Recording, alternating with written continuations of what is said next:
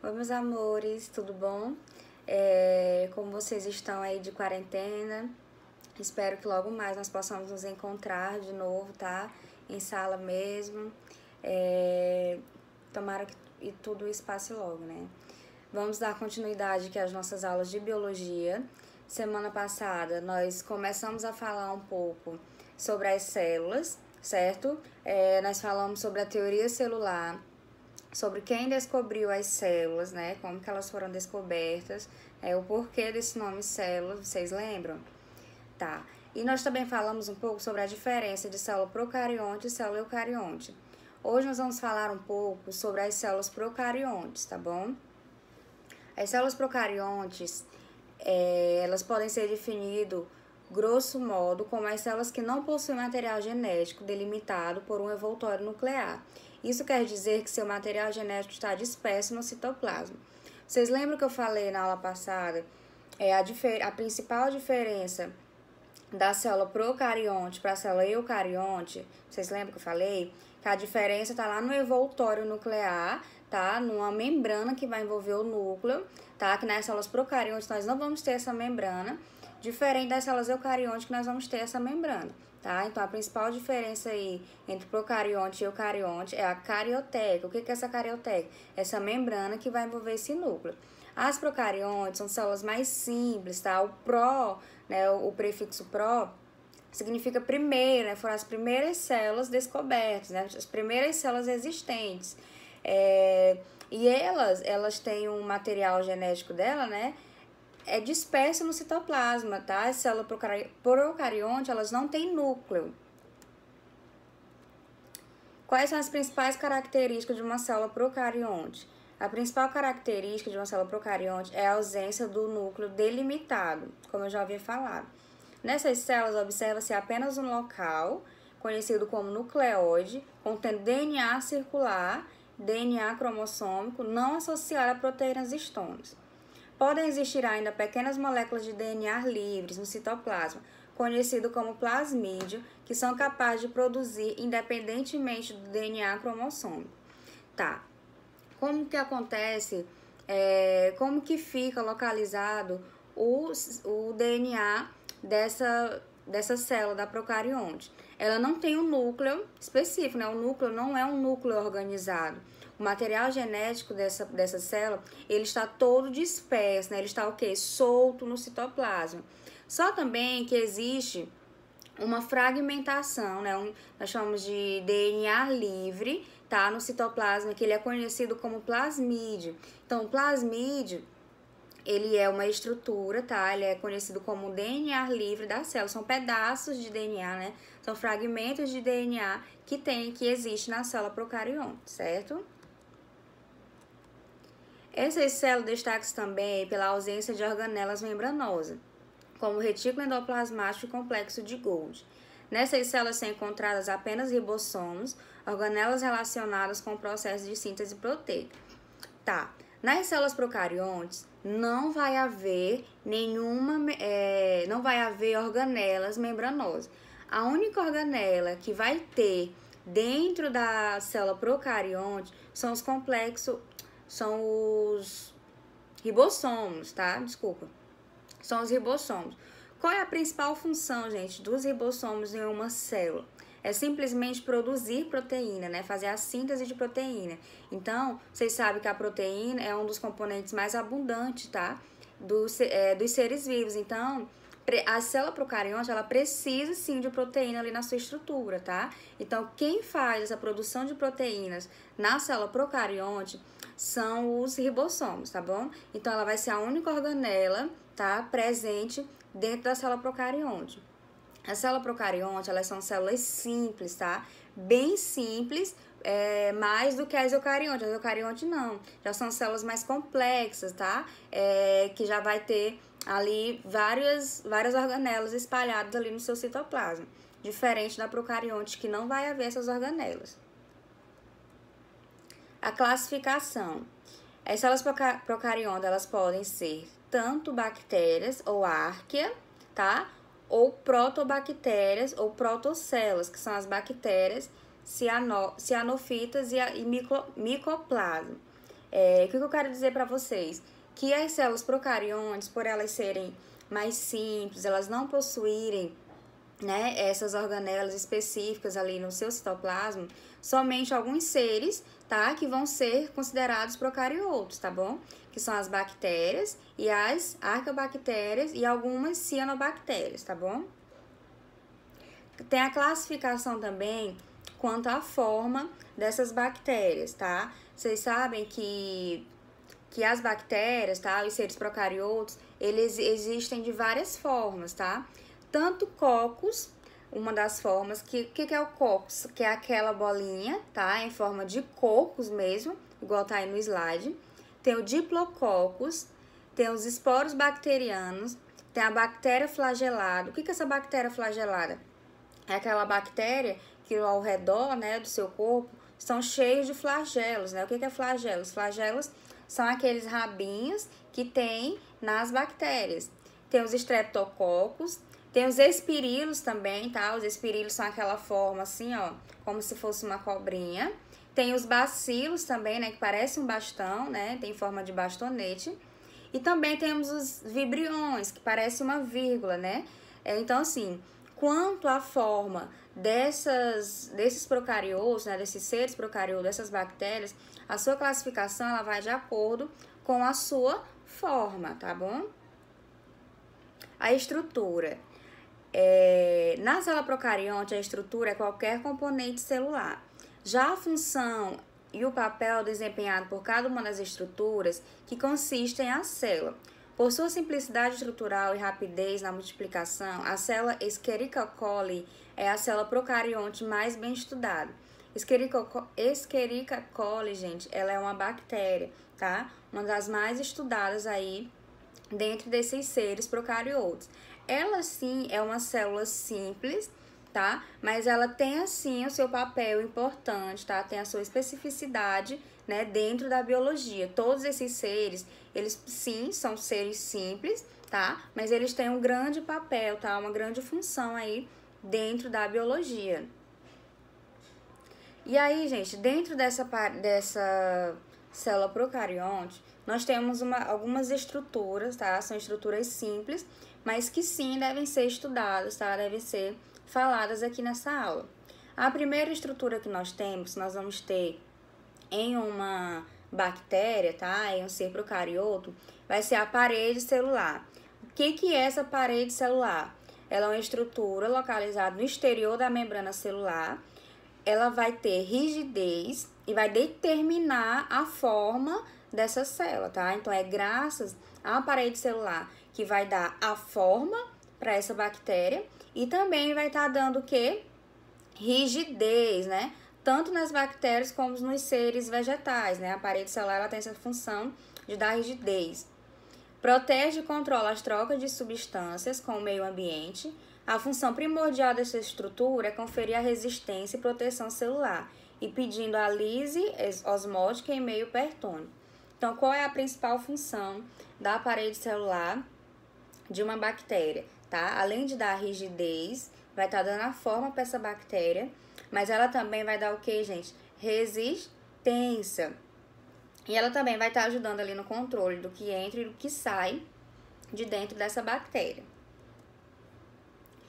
Depois da parede celular, logo mais adentro da parede celular, temos também a membrana celular, que é uma camada lipoproteica que separa o conteúdo citoplasmático do meio em que ela se encontra e controla as trocas de substância com o meio ambiente. Tem três funções principais, que é o revestimento, proteção e permeabilidade seletiva, como sendo esta função a mais comum. O que, que é, professora, essa permeabilidade seletiva? A membrana plasmática nas células, tá? Tanto na célula procarionte como na célula eucarionte, ela vai ter essa função, gente, de seletivar o que, que vai entrar para essa célula, tá? E o que, que vai sair. Claro que ela é como se fosse uma outra barreira de proteção, além da parede celular. É, vai, ser uma, vai servir como uma barreira de proteção para essas células, tá? E ela que vai decidir o que, que vai estar tá entrando e vai estar tá saindo. Então, qual a principal função da parede da membrana celular? Ela, vai, ela serve como permeabilidade seletiva. Ela que vai decidir o que entra, ela que vai selecionar aí dentro da célula o que entra e o que sai de dentro dessa célula, tá? E também como proteção, tá? E também revestimento, tá bom? O citoplasma.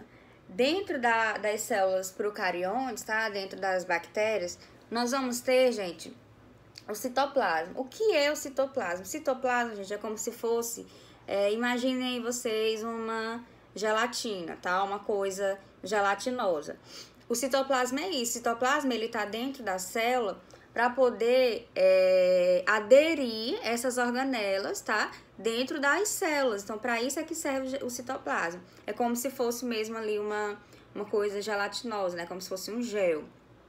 Espaço no interior da membrana plasmática, preenchido por um material coloidal e semifluida, onde se encontram substâncias importantes da célula e as organelas ficam suspensas. O citossol ainda confere consistência à célula. É, alguns, algumas literaturas falam que o citoplasma ele é composto basicamente de até 80% de água, né? É onde vai estar tá ali nutrindo, tá? Todas essas, essas organelas das bactérias, tanto das bactérias como dos seres eucariontes também. Outra estrutura também que nós temos é, dentro das células procariontes são os nucleotídeos. O que, que são, gente? Esses nucleotídeos é onde vai estar concentrado o material genético dessa bactéria. Como eu falei para vocês no início, que procarionte ela não vai ter um núcleo organizado, né? Ela não vai ter é, uma carioteca envolvendo esse núcleo, mas toda bactéria ela tem sim o seu material genético, tá? Só que ela vai estar o quê? Vai estar solto, ela vai estar dispersa nesse citoplasma. É, e é dentro desses nucleotídeos, tá? Que vai começar ali a formação do DNA, tá? Do material genético dessas bactérias. Temos também, como eu já falei no início, os plasmídeos, tá? Que é outra estrutura também das células procariontes. Os plasmídeos é, são moléculas extracromossômicas circulares de DNA bacteriano. Essas moléculas destacam-se por sua capacidade de duplicação independente, ou seja, são capazes de replicar independentemente do DNA cromossal. Então, os plasmídeos são fragmentos, né? Eles são o quê? São pedaços, tá? De DNA que tem dentro das células procariontes. Temos também o material genético, como eu já falei para vocês no início, que é o DNA circular. É, o, o material genético das células procariontes constitui o DNA circular, molécula localizada no hialoplasma, que é responsável pela reprodução e atua na divisão celular, mantendo as informações genéticas da célula, tá? Então, aonde que vai ter é, esse material genético, ele vai estar acoplado, tá? No hialoplasma, que é quase a mesma coisa que citoplasma, tá? O hialoplasma é que vai estar abrigando esse material genético, tá? é, essa, esse DNA das células procariontes. Temos também a estrutura chamada de ribossomo, tá? O ribossomo ele já vai ser o quê? Uma organela encontrada nas células procariontes, tá bom? São organelas membranosas que fica dispersa no citoplasma e atua na síntese proteica, é, decodificando o comando enviados pelo DNA. Então, qual é a principal função do ribossomos em uma bactéria? A principal função, gente, é simplesmente o que? Produzir proteína, tá? Os ribossomos, ele vai ter essa função de estar tá fazendo essa síntese proteica das bactérias. Tá? É a única organela que nós vamos encontrar dentro da célula procarionte, tá bom? Outra, outra estrutura também que nós temos aí no, no slide, na imagem que vocês estão olhando, são os cílios tá? Conhecidos como pilos também, ou flagelos, tá? E flagelos, tá? São duas estruturas diferentes. Os cílios e os flagelos são estruturas citoplasmáticas anexas à membrana plasmática das células. Ela tem a função de, de locomoção e troca de material genético, tá? Os cílios, ele vai estar tá ali auxiliando na troca de material genético de uma bactéria com outra bactéria. Já o flagelo, ele vai estar tá auxiliando o quê? na movimentação, na locomoção dessas bactérias, tá? professora, tem bactérias que têm os dois ao mesmo tempo? Sim, tem bactérias que têm tanto cílio quanto flagelo, que nós chamamos de bactérias flageladas, né? Que são cheios de flagelo ao todo o seu redor, né? A todo o seu corpo, na sua superfície, tá? Então, ele vai ter, os cílios vai ter a função de trocar material genético, tá? De uma bactéria com outra bactéria. E o flagelo, ele vai ter simplesmente a função de quê? De locomoção dessas bactérias, tá bom? Outra função também, é, outra estrutura importantíssima, tá? Nas bactérias, gente, são a, é chamado de cápsula. Ó, a gente já falou de parede celular, de membrana celular, que vai servir como proteção, e temos também outra estrutura chamada, conhecida de cápsula.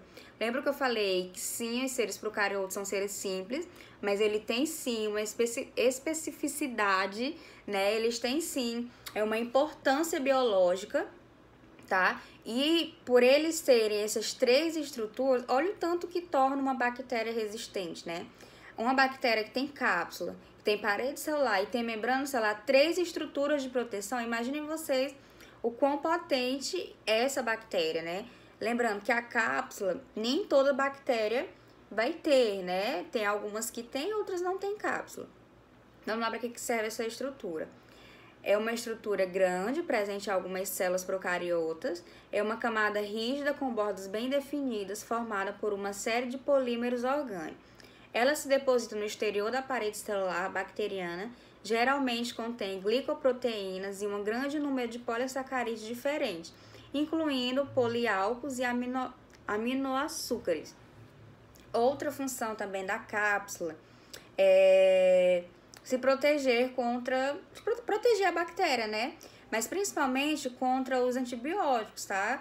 Quando você vai fazer um tratamento com antibióticos para bactérias, o antibiótico, a principal função dele é quebrar né, essa cápsula para poder entrar na parede celular, entrar na, passar pela membrana celular e sim né, é, matar essa bactéria. Então, uma bactéria que tem parede celular, ela é altamente que resistente. Certo? Deixa eu ver. Aí, acabou. Tá, gente. Essa foi a nossa aula, tá? De, de células procariontes, tá bom? Nós falamos principalmente é, do principal representante dos seres procariontes, que são as bactérias, tá bom? As bactérias, elas são seres, sim, simples, tá? Tem as suas estruturas ali, tá? Com suas determinadas funções, mas também elas não vão possuir organela. A única organela que nós temos em uma bactéria é quem?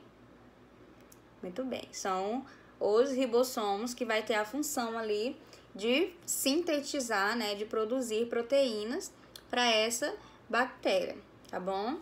É, na próxima aula, nós vamos estar falando agora sobre as células eucariontes é, e depois dando sequência aí na disciplina de biologia, tá bom? Muito obrigada, até a próxima aula.